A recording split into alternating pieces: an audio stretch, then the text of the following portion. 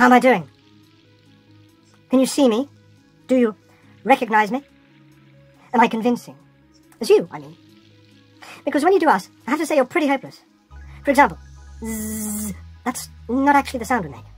And then, you often make us black and white and striped. There's no such thing as a black and white striped bee, and you never get our hair right. But never mind, you try, I'm trying. So, am I a convincing human? The look of me, I mean. We'll get to the humanity of me later. I've studied you, like any good actor preparing a role. Your movements, your speech, do I sound like you? More or less? Anyway, you don't all sound the same, just as we don't. As long as I'm sounding more or less human and happy. Am I?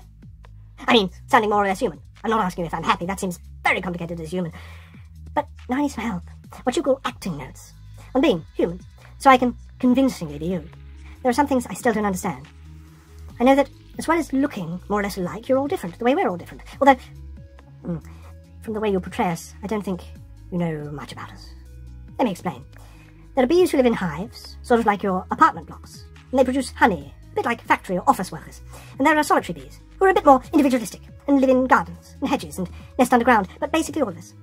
Honey, bumble, mason, miner, carpenter, hairy-footed morning, sweat, squash, blueberry, leafcutter, longhorn, pollinate everything, which means that as we go about our business, the planet keeps going, it's healthy.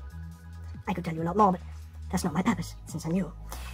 The thing is, I can't figure out exactly what you do. That is, how you keep the planet going, which is what every living thing does.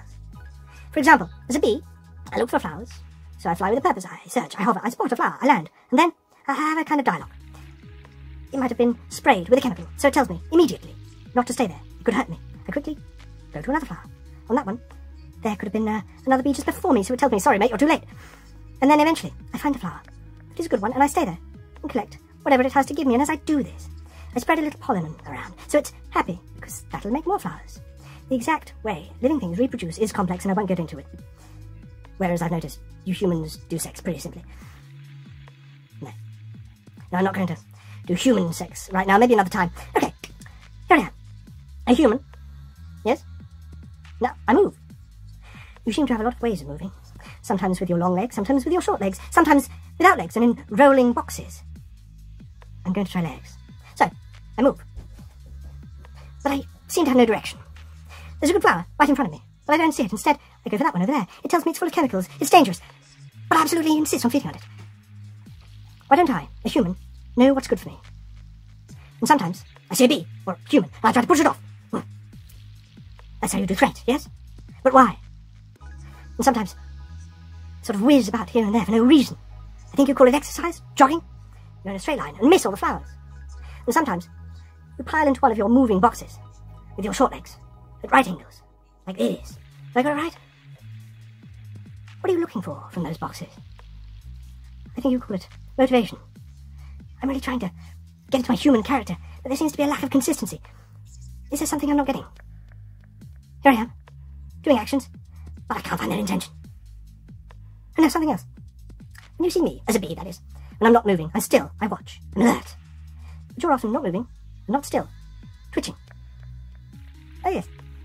It is maybe grooming. We do grooming too. We clean our legs and our antennae. I notice... I don't notice you're much better afterwards. You haven't spread anything good around you.